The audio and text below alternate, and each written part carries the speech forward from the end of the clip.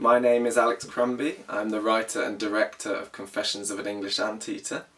So this was my first animation film that I've created uh, and it was actually based on this book that I wrote a few years ago uh, which was published here in Manchester.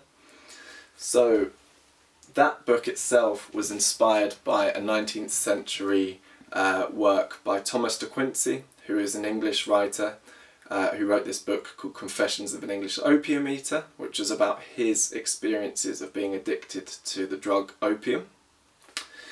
So, when I actually started making the animation film, I storyboarded uh, all the different scenes using pencil and paper.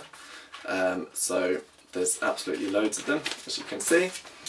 And then I worked with an animation studio and an animator called Andrew Bell up in Newcastle.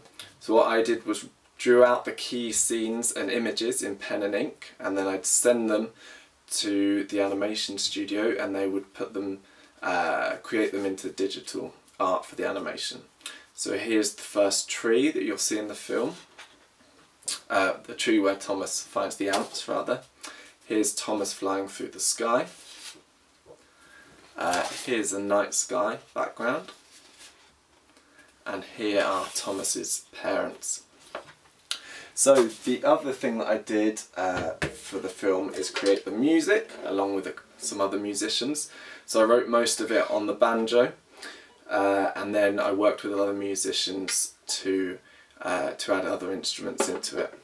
So that's how I made Confessions of an English Anteater and I'll play you out with a bit of the soundtrack.